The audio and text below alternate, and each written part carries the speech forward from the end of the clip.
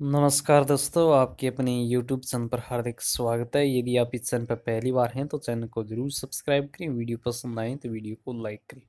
दोस्तों, इस वीडियो के अंदर पटवारी व ग्राम विकास अधिकारी से संबंधित बहुत ही महत्वपूर्ण न्यूज़ देने वाला हूँ। आप वीडियो के लास्ट तक बने रहें। देखिए किस प्रकार की न्यूज़ है दोस्तों। पटवारी व ग्राम विकास अधिकारियों को मुख्यालय पर रहना होगा। शिक्षा मंत्री टोडासरा की तरफ़ से बयान।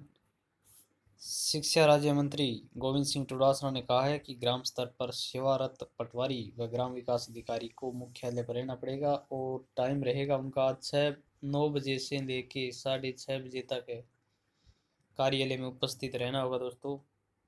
ग्राम स्तर पर कार्मिक एक प्रमुख कड़ी है दोस्तों। टोडासरा ने कलेक्टर सभा हॉल में बीस सूत्रा कार्यक्रम में समीक्षा बैठक में अधिकारियों के आवश्यक निर्देश दिए दोस्तों।